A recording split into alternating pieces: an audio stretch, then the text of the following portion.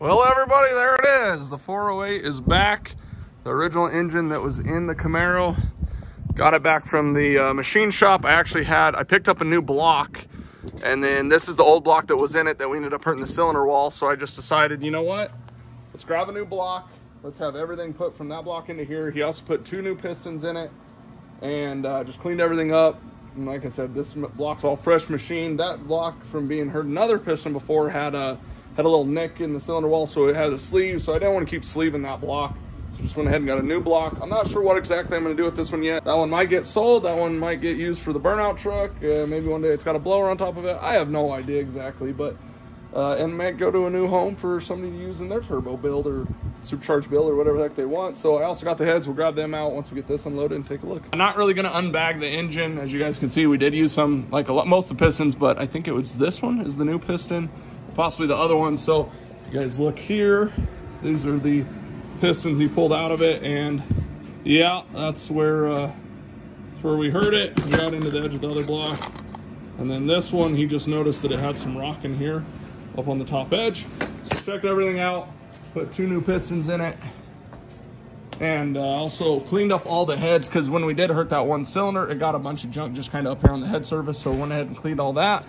Went through everything, did a valve job. So heads are fresh, engine is fresh. So pretty much this thing would be ready to go back together. If we were gonna run this engine, I could just throw the head studs in it, put head gaskets, bolt the heads on there.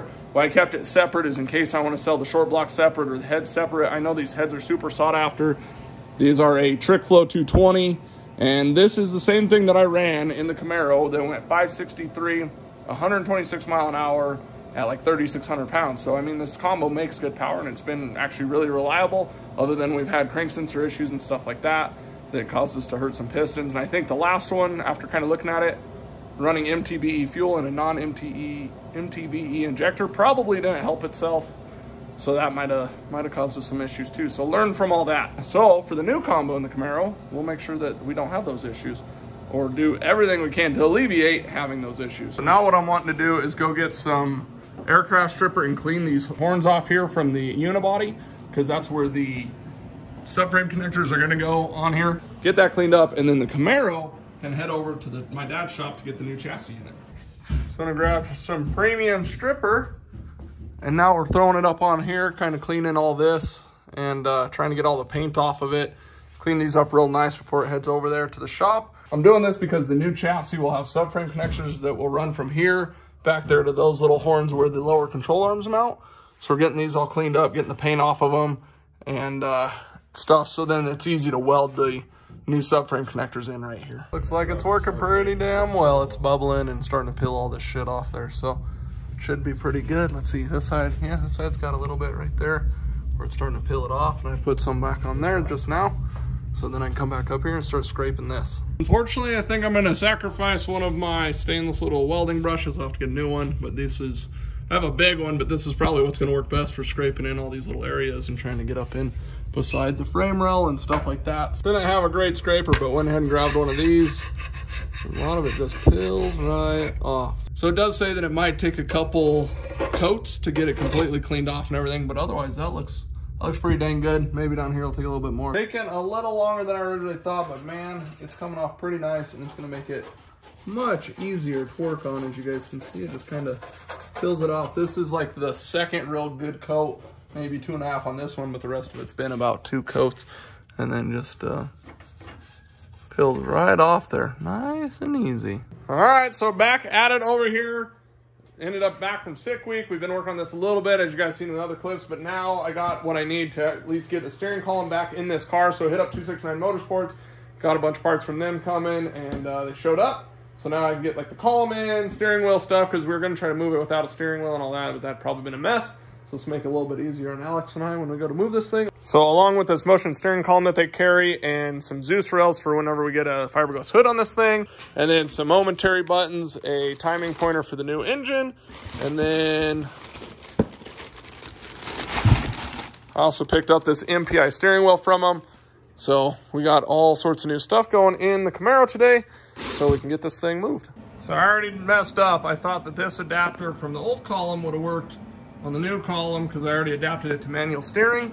but it's not. Instead of this DD, I actually need this to be three quarter round. Aftermarket columns are super easy to install. Slide it down through there, bring it up into the same spot, grab the little nuts and uh, bolt it down. That'll hold it and then put the bolts in the firewall and pretty much back to having a column in the car. After popping the factory bolts back in it, we got a new column.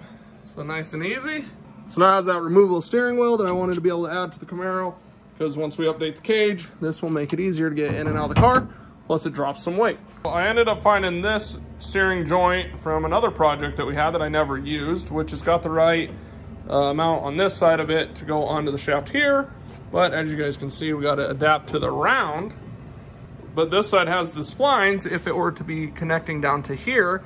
So I think we're gonna do is try to drill this out. So we went and picked up a new $30 freaking drill bit, try to hog this thing out and reuse this so then I don't have to order a new one and it doesn't waste me a few days getting one. So can try drilling it out and see how that works. We're making some progress.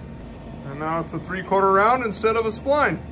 Perfect. Got the hole drilled in the end of the column to fit the little set screw so, you know, that thing don't spin off whenever you're going down the track because that'd be a bad day. Should be back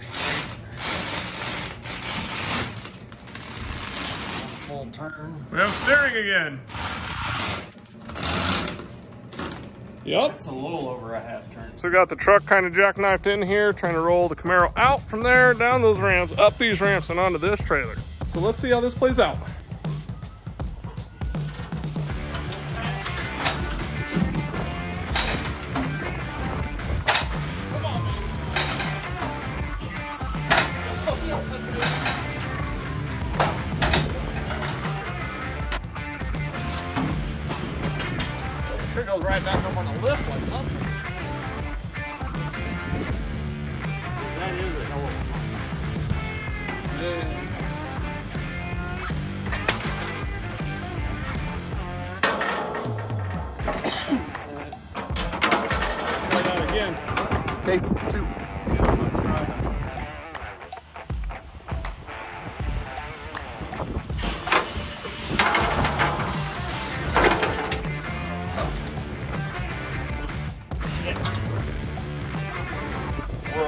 There. The tires are almost on the crest. Son of a bitch. So we put a jack under there and slid the back of the car over a little bit. Now we should be able to come out straight. Ish. Straight-ish. Well, there she is, loaded up, ready to go get some new cage work done. First, we need to go over and spray it all off, get all this crud out of that general area, so then when we're welding and cleaning on stuff, it's not so bad. But otherwise, it, Salty looks good out in the sun, man. I am so happy to have it out in the sun, even though it's so far away from running again. At least we're doing something. So, here we go. Let's take it over and get it cleaned off.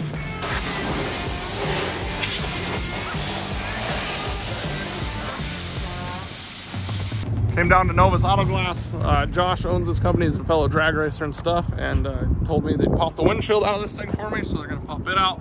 So then it gains us some room to, uh, so it gains us some room to put the cage in because we'll have to put some bars there right here and stuff. So uh, some of the tight areas is a pain with the windshield. So we'll take that out and then we'll pop a new one in once it goes back together.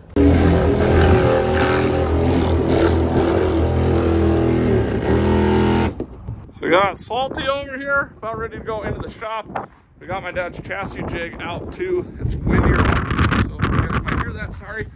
And then we're getting everything in the shop ready to go. April's in here on the phone. so we're just kind of cleaning up some things. My dad's been doing a bunch of epoxy with wood, some cool stuff here. But we're gonna get the uh, Hummer actually pushed out of the shop, put it outside with a tarp to protect it, and then move the Buick.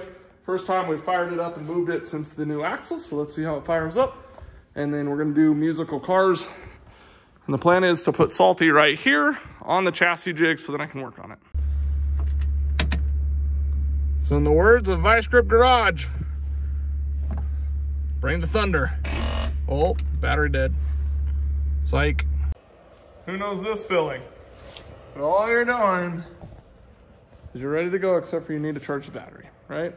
Seems like that's a pretty consistent thing with cars, right? As you go to fire it up and on, now I need to charge the battery. So Power was off, so I don't know if the Holley pulls a little bit of power over time or whatever, but something kind of drained it a little bit, and now we're uh, we're charging. There we go. Come on, come on. A little cold blooded, but fired up a little bit of charge in her. There we go. I guess the old vice grip garage thing didn't work for me. Damn it. Gotta put a little heat in the new gears. There it is. Buick is back up and running, and Salty is ready for some cage upgrades. So we're gonna go over everything that we're gonna do here later, another day. But uh, it's here. It's cold. If you guys want to see more on the fab stuff from the cage, make sure you hit that subscribe button. We'll see you next time.